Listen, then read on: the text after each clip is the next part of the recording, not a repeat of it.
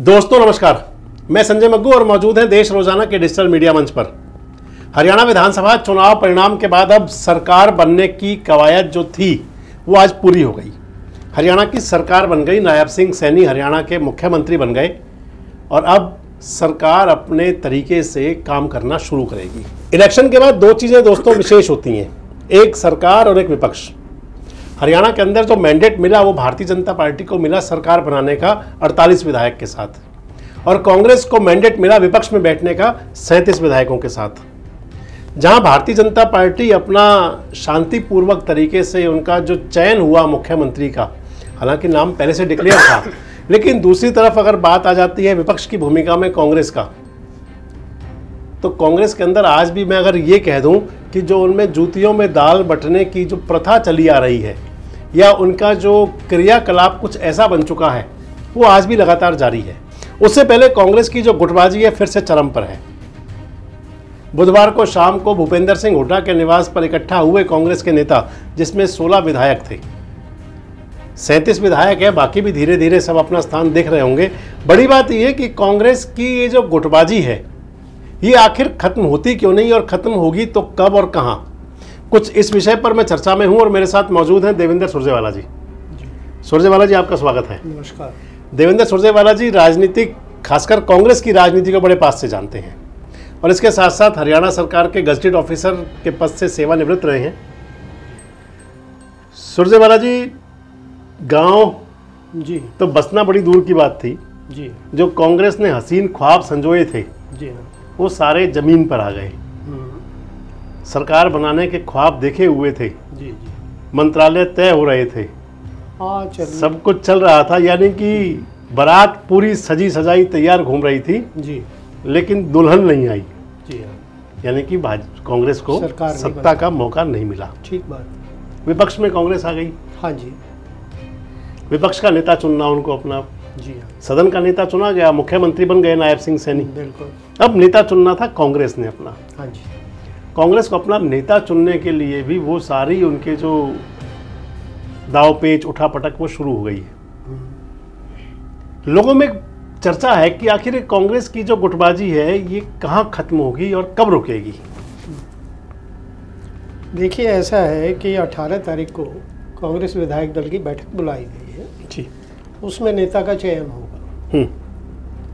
और समझदारी तो इसी में है कि बैठक के अंदर सब पहलू को देखकर अपने पीछे के कार्यकलाप और आगे में भविष्य को देखकर पार्टी ऐसे नेतृत्व का चयन करे हम्म। जो आगे पार्टी को ले जा सके। हम्म। अब ये बात बिल्कुल सही है कि भी पार्टी के अंदर इस वक्त ग्रुपबाजी गुटबाजी जो है वो काफ़ी हावी रही है। हम्म। राहुल जी ने भी एक बात कही पीछे जब मीटिंग में सीएलपी लीडर जो थे पीछे और प्रदेश अध्यक्ष उनके सम्मुख एक बात कही कि भी ये पर्सनल जो था ना व्यक्तित्व हम्म। वो हावी रहा पार्टी की नीतियों के बजाय। हम्म। उनका इशारा था कि भी ये सब जो है इस तरह का माहौल बना हम्म। और जिससे पार्टी को ये खामियाजा भुगतना पड़ा। कुछ हद तक ये सही है। कुछ और भी फैक्टर थे काफ़ी जिसमें एक ये भी मुद्दा रहा है लोग ये पहले ही कहते थे हम्म। कि भाई कांग्रेस तो तो कांग्रेस ही हराती है। हम्म। एक बात वो- जी। वो सही निकली। दूसरा हम्म। ये भी कहते थे अगर ये चुनाव मिलजुल कर लड़ेंगे तो अच्छी बेहतरीन प्रदर्शन होगा और लोग तो कयास लगा रहे थे पैंसठ बासठ या सत्तर तक भी कह जाते रहे थे। सुरजेवाला जी। लेकिन जी। फिर ये कहते थे अगर नहीं होगा तो ये पचास के इर्द गिर्द सिमट जाएँगे। वो तो अब चलो बातें ही गई। अब वो काफ़ी नीचे आ गए। उसी का परिणाम हुआ कि भाई ये आपस की जो लड़ाई कहिए या आपस का ग्रुपबाजी कहिए या एक संदेश इकट्ठे और ना होने का जो मिला हम्म। उसका प्रभाव। अभी आप कह रहे थे कि कांग्रेस की गुटबाजी और कांग्रेस ही कांग्रेस को हराते हैं। जी। मैं आपकी बात में बात जोड़ता हूँ। जी। कांग्रेस कांग्रेस को हराती है ये कोई नई बात तो मुझे लगता है नहीं। ठीक है।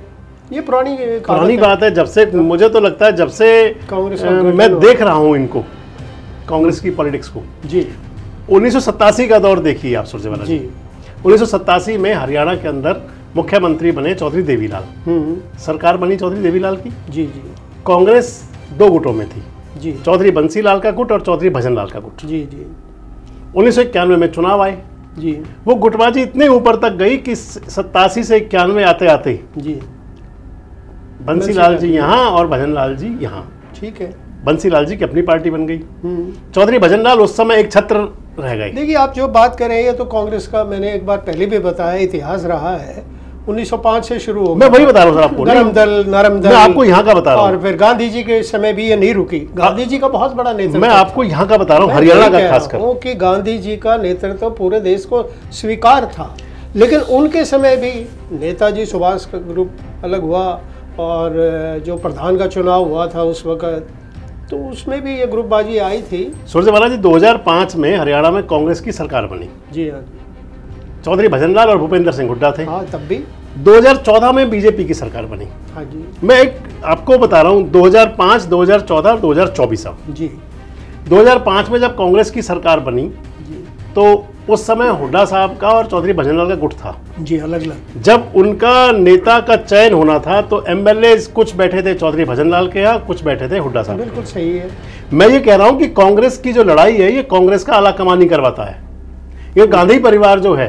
हम्म, अगर मैं ये कह दूँ कि राहुल गांधी ही बड़े सबसे बड़े सूत्रधार हैं या जो उनके पुराने नेता थे। जी। मैं आपको अपनी बात मिलाऊँगा सुरजेवाला जी। जी। 2005 में जब चला तो उस समय भजनलाल के नेतृत्व में चुनाव हुआ था। भले ही घोषित नहीं थे वो पर प्रदेश अध्यक्ष थे। ठीक बात। उस समय जब चुनाव हुआ। सोनिया गांधी जी थी। हम्म, सोनिया गांधी जी ने बना दिया हुड्डा साहब को। जी हाँ कोई बात नहीं कोई कुछ नहीं सीधा संदेश पैगाम आ गया कि हुड्डा नेता होंगे। जी। झगड़े हुए। हम्म, विधायकों के अंदर तू तड़ाक हुई तू तू मैं मैं हुई गाली। गलौच हुआ सब कुछ हुआ। सब कुछ। 2014 पे आ जाओ। हम्म, 2014 में भी भारतीय जनता पार्टी की सरकार बनी। हाँ जी हाँ जी। कोई घोषित नहीं था कुछ भी। नहीं। लगता था कि रामविलास शर्मा बनेंगे। हाँ लोगों को उनका सीनियरिटी को देख आप ये देखिए बीजेपी आला कमान की एक तरफ़ कांग्रेस। उस समय आप बिल्कुल सेम कंडीशन है दोनों की। 2005 में सेंटर में कांग्रेस थी। जी। मनमोहन सिंह प्रधानमंत्री थे और राजमाता सोनिया गांधी थी। पूरा उनका दबदबा था। हम्म, उसके बावजूद वो अपने घर को नहीं संभाल पाई घर को लड़वाया 2005 में। इधर आए तो बीजेपी की सरकार थी सेंटर में। उन्हीं रामविलास शर्मा ने मनोहर लाल खट्टर का नाम रखा।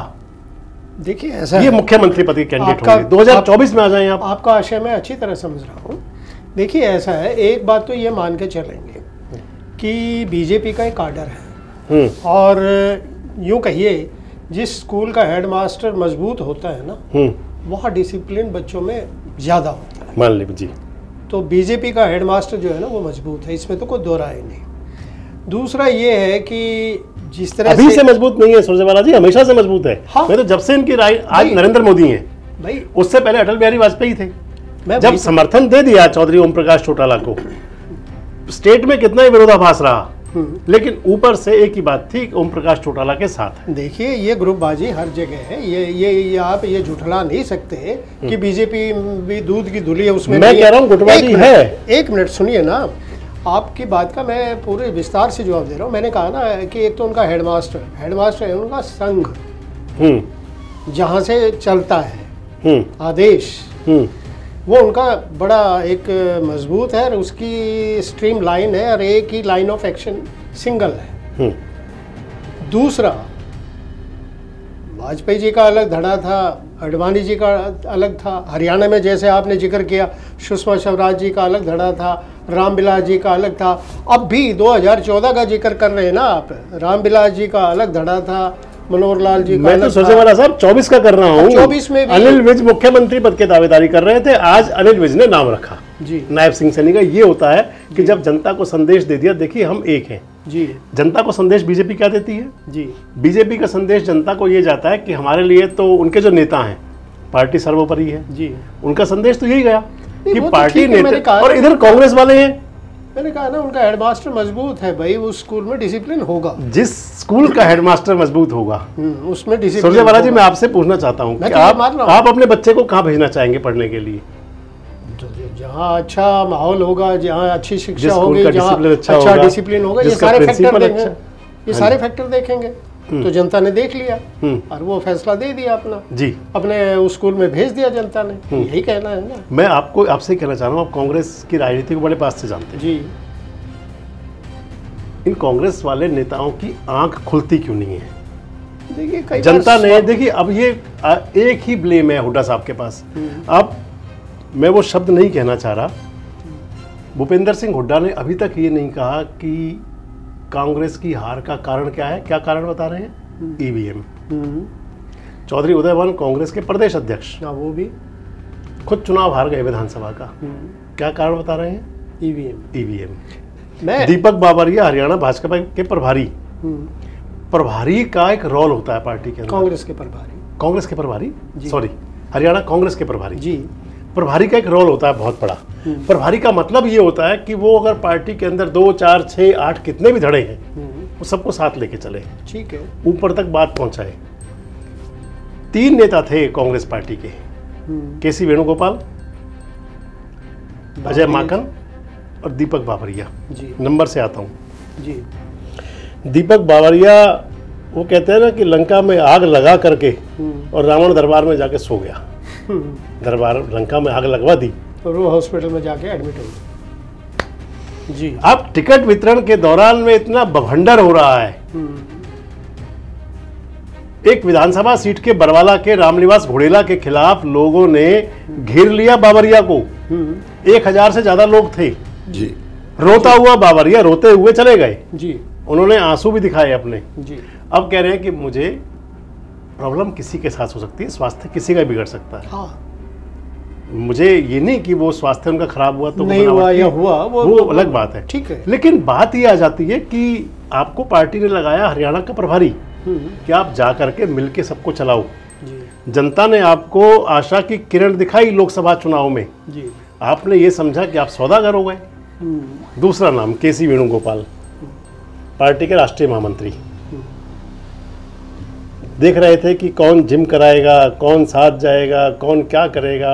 टिकटें बांटने में जो चला सारा हेर फेर बीस ऐसे नाम मेरी नज़र में हैं पंद्रह से बीस ऐसे नाम। हुड्डा साहब को लगा कि के सी वेणुगोपाल को सेट कर लो राहुल गांधी सेट अपने आप ही हैं। देखिए आप ये ये लंबा विषय हो जाएगा बात का। जी। ये खामियाँ और ये कमियाँ एक तरफ़ नहीं है ये खामियाँ कमियाँ तो दोनों तरफ़ भी हैं। ये तो मान के चलिए। टिकटें यहाँ भी ऐसे ही हुआ है। सारी टिकटें यहाँ भी अच्छी नहीं है।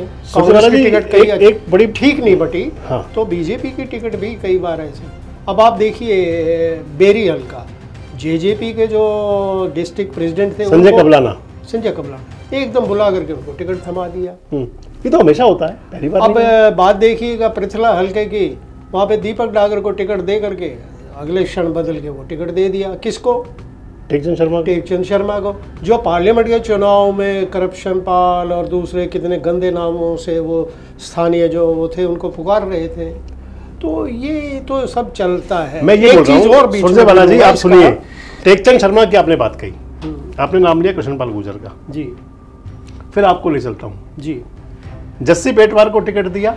हम्म, कांग्रेस ने। जी हाँ। कुमारी सैलजा के विरोध में। बिल्कुल।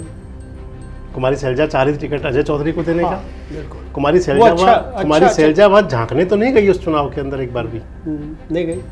वहाँ जो बातें चली सारी। हम्म, इधर अगर टेकचंद को टिकट दिया तो कृष्णपाल गुजर टेकचंद शर्मा की वोट मांग रहे थे। जी। ये डिफरेंस है दोनों पार्टियों में। और जनता को क्या संदेश चाहिए सुरजेवाला जी? मैंने आपसे अभी अगर पूछा। डिफरेंस है तो उसका फ़ायदा नुकसान तो मैंने पार्टी को हुआ आपसे अभी पूछा। मैं तो शुरू में कहा आप अपने बच्चे को कौन से स्कूल भेजना चाहेंगे? तो कहा जहाँ पढ़ाई अच्छी होगी डिसिप्लिन होगा जहाँ पे माहौल अच्छा होगा वहाँ पे। हम्म, और उसका जनता ने फैसला कर लिया जिस स्कूल में भेजना था भेज दिया। आपकी बात का यही है। लेकिन इन बातों के अलावा और बहुत से ऐसे फैक्टर रहे हैं। और आज भी अगर बात करें हम आपने एक सवाल उठाया कि उदय भान जी हैं। आपने भूपेंद्र हुड्डा जी का कहा कि वो उन्होंने दोष ईवीएम को दिया है मैं ये कहता हूँ चाहिए ये था कि हमारे जो कांग्रेस प्रदेश अध्यक्ष थे उनको निजी जिम्मेवारी लेते हुए ये कहना चाहिए था इस हार की जिम्मेवारी का अपने ऊपर लेना चाहिए था हमेशा हुआ चाहिए करता है। था हमेशा होता हमेशा होता है जब कोई पार्टी चुनाव हारती है हाँ, तो तो उसके प्रदेश अध्यक्ष उसकी जिम्मेवारी मुख्यमंत्री प्रभारी जो भी होते हैं हाँ। वो कहते हैं कि मैं इसका, इसका नैतिक वो नैतिक जिम्मेवारी मेरी। मेरी है। पार्टी उनको अलग करे ना करे वो अलग है लेकिन और मैं पेशकश करता हूँ इस्तीफे की। उनका एक दायित्व सा है ये। हम्म। होता रहा है। ये चाहिए था। अगर अब 18 तारीख को पार्टी ने हाईकमान ने उनको पद से मुक्त कर दिया फिर क्या होगा? फिर तो और भी ज़्यादा गड़बड़ होगी। हम्म। उससे बेहतर तो यही था कि ये लोग हम्म। स्वयं ऑफ़र करते हैं कि भाई ये दायित्व हम लेने के लिए तैयार है। हम्म। पार्टी ये फैसला करे। अच्छा सुरजेवाला जी अच्छा स्कूल अच्छा प्रिंसिपल अच्छा एटमॉस्फेरियर एटमॉस्फेयर अच्छा डिसिप्लिन ये सारी बातें की। जी। कांग्रेस पार्टी को जनता ने मैंडेट दिया कि आप विपक्ष में बैठिए। जी। जनता का मैंडेट है कि आप हम्म। विपक्ष में बैठिए। हाँ बिल्कुल। तो आज कांग्रेस के अंदर पिछले तीन चार दिन से एक बात चल रही है। जी। विधायक दल का नेता कौन? हम्म। क्योंकि जो विधायक दल का नेता होगा विपक्ष का नेता होगा और हाँ, उसको वही एलओपी सुविधाएँ मिलेंगी वो। सॉरी विपक्ष का वो है नेता। लीडर ऑफ़ अपोजिशन बनेगा जो। ऑपोजिशन तो अब सबसे बड़ी बात एक और चल पड़ी है। कुमारी शैलजा चाह रही हैं कि मेरे गुट को मिले। हुड्डा साहब चाह रहे हैं मेरे गुट को मिले। देखिए ये चाहना तो हमेशा बनी रहेगी और आगे भी बनी रहेगी। सवाल ये आता है कि इन बातों का जो है प्रभाव वो कब और कितना पड़ता है वो देखने की बात है। हम्म, इस वक्त ज़्यादा ज़रूरत जो है ना पार्टी को संगठित होने की ज़्यादा है। कांग्रेस को। कांग्रेस को। और इन छोटी बातों को तो देखिए इनसे ऊपर उठ करके आपको करना पड़ेगा। तब जा करके आप जनता के बीच में जा पाएँगे। हम्म, और वरना तो वही बात है जो शुरू में हुआ कि भाई आप इससे लड़ते रहेंगे हम्म, और ये करेंगे तो लोग तो खिल्ली भी उड़ाएँगे और आपको साथ भी नहीं देंगे। हम्म। ये तो बात है तय। अंतिम सवाल पे आ रहा हूँ सुरजेवाला जी आपके साथ। अभी हरियाणा का चुनाव हुआ। इससे पहले लोकसभा का हुआ था। हाँ जी हाँ और लोकसभा चुनाव से ठीक पहले मध्य प्रदेश राजस्थान छत्तीसगढ़ ये चुनाव हुए थे। हम्म, छत्तीसगढ़ और मध्य प्रदेश को लेकर के स्थिति ये थी तमाम जो ओपिनियन आते थे कि वो आते थे? कांग्रेस की गवर्नमेंट बन सकती है। बाद में कांग्रेस की सरकार दोनों स्टेटों में नहीं बनी बुरी हालत हो गई। जी मध्य प्रदेश में और भी ज़्यादा राहुल गांधी ने एक मीटिंग बुलाई। जी। कई ऐसी खबरें छन छन के बाहर निकली कि मध्य प्रदेश में भी और छत्तीसगढ़ में भी। हम्म, मध्य प्रदेश के अंदर तो कमलनाथ और कमलनाथ के पुत्र हम्म, और उनकी टीम। हम्म, बात ये चली कि जैसे एक हरियाणा में बात चलती थी सुरजेवाला जी जी। कि एक गुट नहीं चाहता कि छियालीस सैंतालीस से ज़्यादा एमएलए आ जाएँ ताकि बात बनी रहे। अब बात आई मध्य प्रदेश के अंदर भी कहते थे कि कमलनाथ नहीं चाहते थे कि ज़्यादा मेजोरिटी मिल जाए। ये तो कुछ बात लोगों की बात है। ये ये कांग्रेस की राहुल गांधी की मीटिंग की बातें सर ये। नहीं ये ऐसा ऐसा ही कुछ था छत्तीसगढ़ को लेकर के। रमन में ये कहते थे कि भूपेंद्र हुड्डा जी नहीं चाहते कि भी पैंतालीस से या पचास से ऊपर एम एल आए। कहीं ऐसा ना हो कि हाईकमान मुझे कांग्रेस के नेता कहते थे हरियाणा नहीं नहीं वो कहने वाली बातें हैं। हम्म, ये बातें कहने वाली बातें हैं ऐसा कोई नहीं होता। ये ये तो सिर्फ़ माहौल को देख करके बातों में से बात मेरा सवाल जो है। मेन ये था। जी। अगर मध्य प्रदेश के अंदर कोई राहुल गांधी को कमियाँ दिखी हम्म, छत्तीसगढ़ में दिखी हम्म। तो राहुल गांधी सबक क्यों नहीं लेते और या फिर जानबूझकर आँखें बंद रखते हैं अपनी पार्टी के संगठन देखिए वो कहते हैं ना कि टोटे में जो ना लठ बजता है। हम्म, यानी जब आप हानि होती है जब नुकसान होता है तो आपको और ज़्यादा चांसेस बन जाते हैं। अब एक बड़ा ये तो पुराना पुरानी कहावत है कंगाली में लड़ाई होती है हाँ। कंगाली में आटा गिल्ला हाँ कंगाली में लड़ाई होती है कंगाली में आटा गिल्ला और दूसरा एक वो बड़ा पुराना है कि राजा हरिश्चंद्र हम्म, जब वो थे वो अपनी हर बात में ठीक थे सही थे हम्म। लेकिन जब हर दाव उल्टा पड़ता रहा हम्म, और वो एक इतिहास बन गया था। तो ये तो जब ऐसे वक्त कहीं कांग्रेस भी भी इतिहास तो नहीं बन जाएगी हरियाणा के अंदर या देश में। भाई मुगल आए वो भी चले गए अंग्रेज़ आए वो भी चले गए और गुप्त काल भी था मौर्य वंश भी था धीरे धीरे परमानेंट तो कोई भी नहीं है। हम्म, समय होता है। हम्म, हम्म। न जाने कितने नेता आए हैं और चले गए उनका। कुछ हम्म। दे गए कुछ छोड़ गए चले गए। चलिए अंतिम सवाल। क्या लगता है कांग्रेस विधायक दल का नेता विपक्ष का नेता कौन बनेगा? देखिए वैसे मेरे हिसाब से तो भूपेंद्र हुड्डा जी को ही रखना चाहिए। जी। ज़्यादा विधायक उनके पक्ष में हैं। हम्म, और ठीक है गलतियाँ हैं सारी बातें हैं उनको भी सबक लेना चाहिए। सबको साथ लेकर चलें। हम्म, और जहाँ तक ज़िक्र चल रहा है कि कांग्रेस प्रधान मेरा तो अपना सुझाव है कि शैलजा जी को कांग्रेस का प्रेसिडेंट हो और हुड्डा साहब जो है ना सीएलपी लीडर हो। हम्म, बसरते कि दोनों साथ मिलकर चले। अगर वही लड़ना है फिर तो आप ये कहिएगा कि भाई आपने जो है ना इसको वो कहते हैं ना कौटिल्य ने कहा था मगध वंश के लिए कि मैं इसकी जड़ों में मट्ठा डाल दूँगा। तो ये दोनों मट्ठा डालने का काम करेंगे सीधी बात। जी। अगर ये मिल के चलेंगे अपने सर्वाइवल के लिए तो बेस्ट ऑप्शन है। तो सुरजेवाला जी कहना है कि अगर कांग्रेस बेस्ट ऑप्शन के लिए दो की अगर कोई तैयारी करनी है तो कुमारी सैलजा को नेतृत्व और भूपेंद्र सिंह हुड्डा ये दोनों नेतृत्व संभालें और दोनों मिल करके चलें। आप हमारी बात से कितना सहमत हैं? कमेंट्स बॉक्स में ज़रूर बताएँ जुड़े रहें हमारे साथ देखते रहें देश रोज़ाना। हमारे साथ जुड़े रहने के लिए देखते रहिए देश रोज़ाना का यूट्यूब चैनल सब्सक्राइब कीजिए साथ ही देश रोज़ाना की खबरें सबसे पहले देखने के लिए प्रेस कीजिए बेल आइकन